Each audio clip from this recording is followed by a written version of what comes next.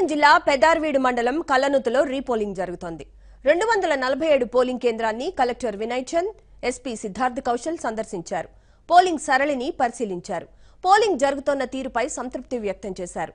Polling ప్రశాంతంగా జరుగుతోందన్నారు. ఓటర్లకు polling కేంద్రం దగ్గర అన్ని సౌకర్యాలు కల్పించామన్నారు. ఎలాంటి అవాంఛనీయమైన ఘటనలు జరగకుండా బందోబస్తు ఏర్పాటు చేశామని అధికారులు చెప్పారు. నిన్న చీరాల సైడ్లో ఒక ప్లస్ ఒకటి వేసి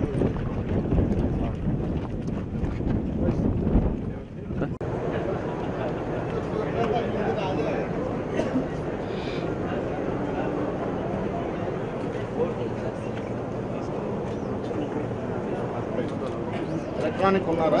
బయట